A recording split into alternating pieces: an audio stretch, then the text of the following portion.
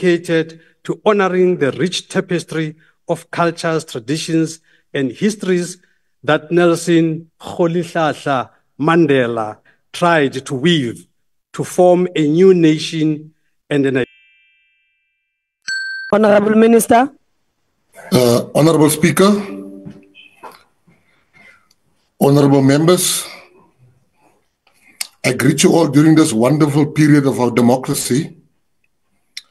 Our democracy is celebrating 30 years of existence. By celebrating our 30 year existence, does in no means mean that the path was easy or smooth.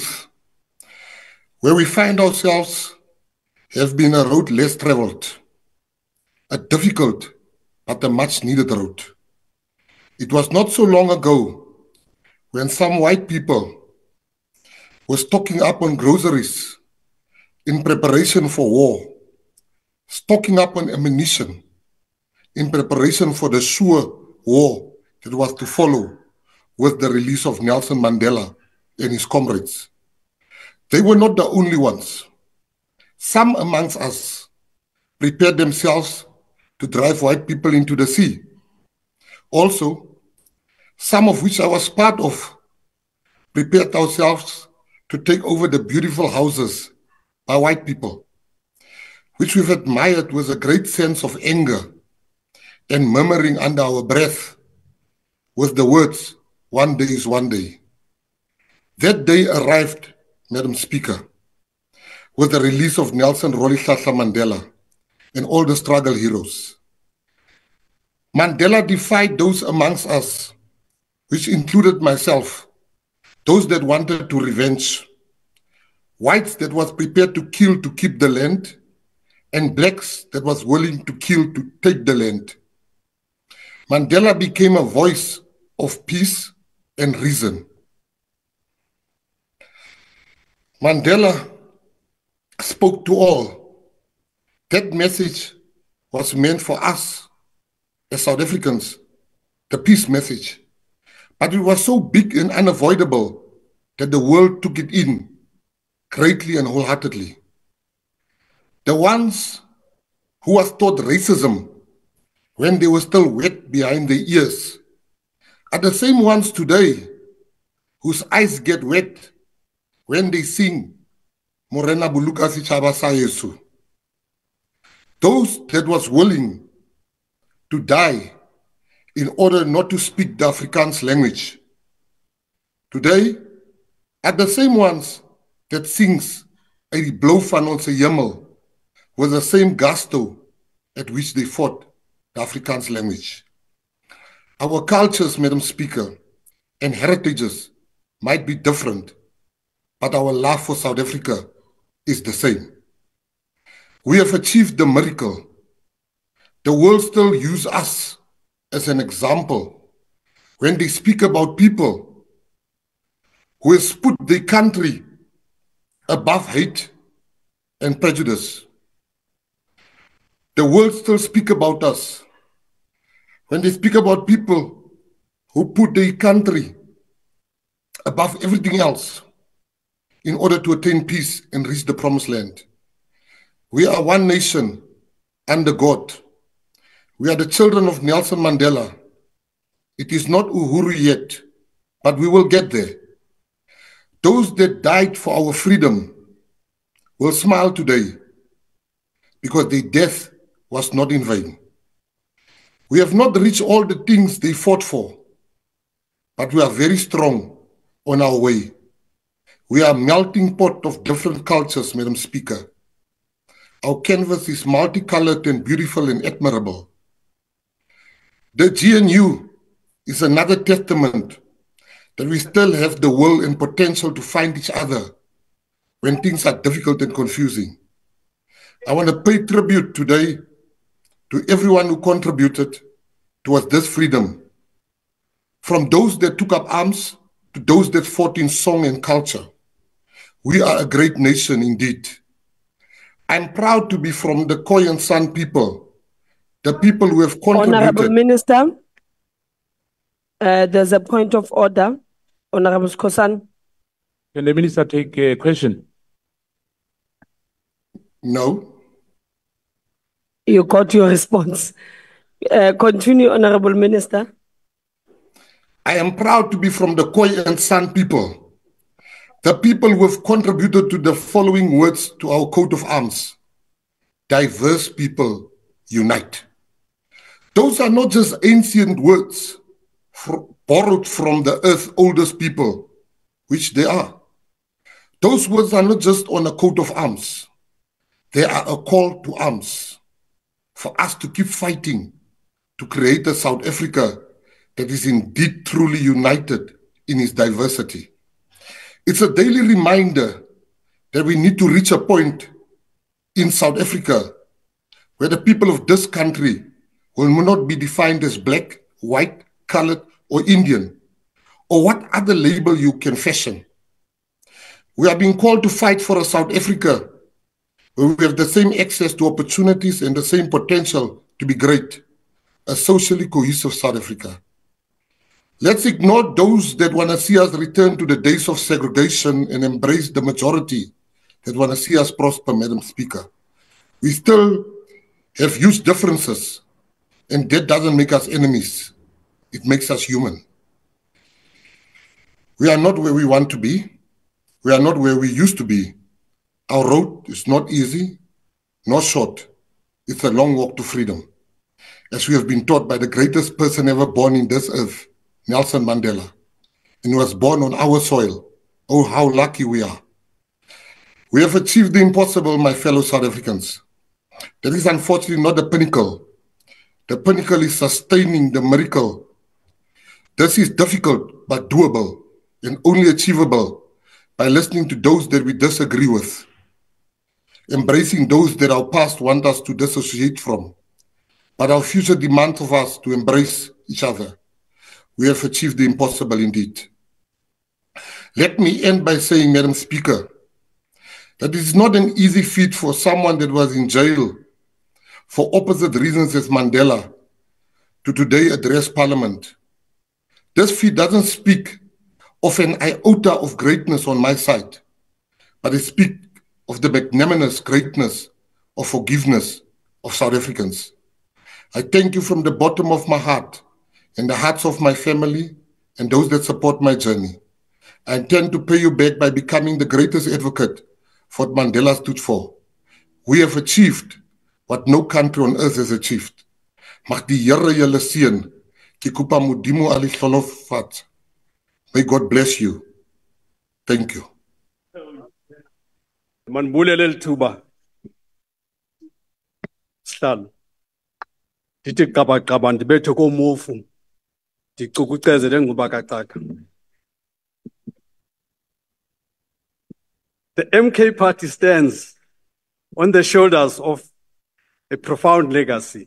shaped by the violent struggles against colonialism and apartheid, guided by heroic deeds of our African kings, chiefs, and warriors. Kings and chiefs such as the king of the Khoikhoi, the king of the sons, King Shaka, King Cetshwayo, King Bhambatha, Kamangiza, King Inza, Kakauta, King Maqoma, King Sekhukhune, King Moshoeshoe, Queen LaBotsibeni, and many others who valiantly resisted the colonial conquest. They exemplified fierce resistance against Dutch and British encroachment utilizing guerrilla tactics to preserve the sovereignty of our country, our land, and their cultural and our cultural identities. Leaders such as King Khama and King Moshoeshoe I did not only fight battles, but they also engaged diplomatically to protect their people from Boer and British pressure. These historic leaders, inspired by their unwavering commitment to freedom, set a foundation of resistance that transcends into today's struggles. The Dutch and British colonization initiated a dark period of violent and ruthless dispossession of our land and cattle from the Khoikhoi, from the San, from the Xhosa, from the Pedi, and from the Zulu people. The 19th century set in an era of British imperialism, fueled by discovery of gold and diamonds, which led to further subjugation of the indigenous population and cemented the, the legacy of racial segregation, greed, and economic disparity. Those encounters set the stage for the apartheid system of the 20th century, which institutionalized this, div- this divide, leaving a scar in South African society, a fabric that lingers in the contemporary period. South Africa's tumultuous history is steeped in profound injustices, greed, and the scramble for land. There are significant proportions of our, of our population who were marginalized, stripped of their dignity, and plundered by a minority, a reality which we face even as we speak today. Over the past 30 years, heritage has been dedicated to honoring the rich tapestry of cultures, traditions, and histories that Nelson Rolihlahla Mandela tried to weave to form a new nation and an identity away from its painful past and is supposed to be a day of remembrance and celebration. But unfortunately, it's a day of sorrow. Today, I would like to pay tribute to President Oliver Tambo, who played a crucial role in maintaining the momentum of the liberation movement during a time when political activity was banned in South Africa. Pity it has deteriorated to what it is today.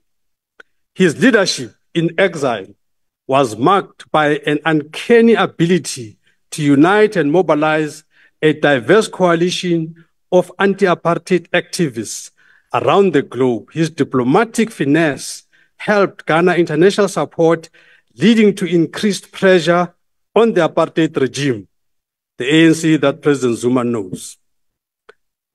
Tambo's vision of a democratic and inclusive South Africa was rooted in his deep belief in human dignity and equality.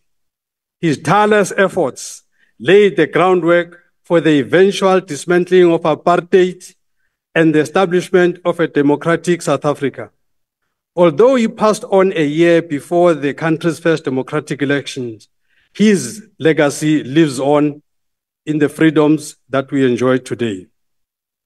Freedom of speech. While Tambo's contribution were monumental, countless others sacrificed their lives in the struggle for liberation. There are many unsung and unnamed heroes who lost their lives for our liberation, and their stories are woven into the fabric of the South African history. These brave souls faced imprisonment, torture, and death, and yet remained steadfast in their quest for freedom. Countless women and men organized and participated in protests, strikes, and underground activities, which played a pivotal role towards our political emancipation. During Heritage Day, I would like to remember their resilience and courage in the face of an unimaginable adversity, which must continue to inspire the generation in the ongoing fight for justice and equality. I would like to remember and pay tribute to Andrew Zondo, not Raymond Zondo, and Solomon Mahlangu, who were guardians of freedom. They stand as poignant symbols of resistance against the brutal apartheid regime, both being young men who sacrificed their lives in pursuit of justice and equality, leaving behind legacies that continue to inspire the fight against oppression. Their, their execution is a tragic reminder of the harsh realities faced by those who dared to oppose the regime. Solomon, Mahlangu's last words were, I quote, my blood will nourish the tree that will bear the fruits of freedom, close quote. Words which echo the profound impact of his sacrifice. Both Zondo and Mahlangu fought a South Africa, fought, fought for South Africa free of racial oppression and inequality as they envisioned a nation built on principles of justice, unity, and true democracy. We embrace all communities as the MK party uh, as a result of this uh, democratic dispensation. We embrace everyone. We embrace the colored people. we embrace the Indian people, we embrace the Khoi people, we embrace the San people, which are now part of a larger South African family. And indeed, I even personally embrace all these groups I've mentioned here. And in MK Party, we are calling on all these groups to know that uh, the MK Party is a melting pot. This is where all of us should uh, uh, end up in. The diversity that has been brought by interacting with all other races and groups has brought about a rich tapestry of ideas, experience, and cultural kaleidoscope that combine to reflect what we want. Today, the political landscape of the coalition arrangement between their organization and the neoliberal right would present challenges that they would critique. The structural, ideological, and epistemic differences embodied in the recent marriage of unlikely bedfellows would be seen as a betrayal of the ideals which they fought for. Comrades should be ashamed. Were Tambo, Biko, and Hani and Mahlangu to descend into this good hope today, they would lament seeing this front line. They would reject any alliance that prioritizes the political convenience over genuine transformation. I mean, yesterday, the same partners of this coalition were trying to fight against employment equity. Can you believe it? What the nerve? The ideals of the National Democratic Revolution as outlined by Tambo and Mandela have been perverted in the form of this grand coalition, which is a marriage of convenience where an imaginary wedding took place between the National Party of Apartheid, which is now called Democratic Alliance, and the new ANC. Let me conclude.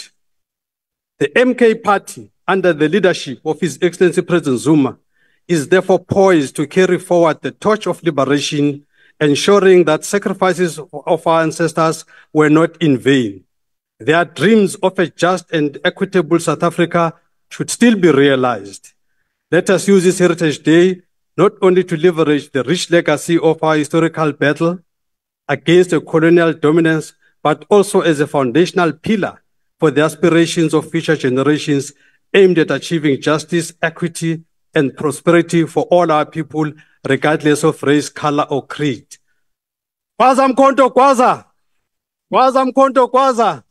Welcome to LT Celeb Times. That's it for now, guys. And please tell us what you think about this on the comment section below. And thank you so much for watching.